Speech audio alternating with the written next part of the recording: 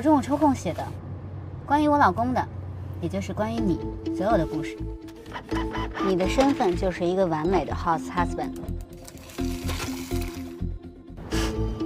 为了让自己的事业迅速升迁，编造了一个完美的婚姻。你今天啊，演技特别精湛，一百个赞。我有杨华，让我有机会可以选择事业。这个呢？啊，这个呢？妈，婚姻幸福的秘诀，你想知道吗？我测一看，嗯，心跳很快。别别别别别别别别！松手松手松手！职业转分了。喜欢钱，有罪过吗？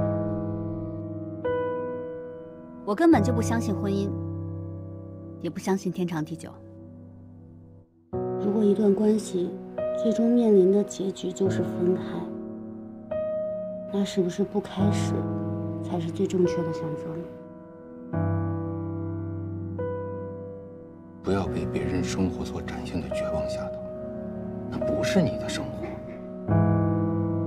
你会找到属于你自己的幸福。秦律师，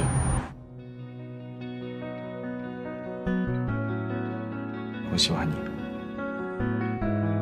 这个世界上没有什么比爱情力量更大的。遇见了他，所有走过的路都有了终点，所有的等待都有了意义。